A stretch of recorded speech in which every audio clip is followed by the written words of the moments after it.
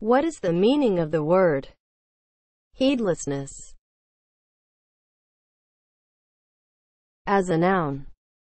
The trait of acting rashly and without prudence.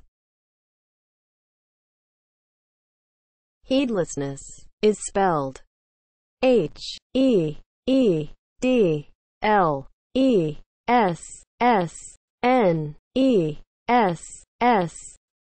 Heedlessness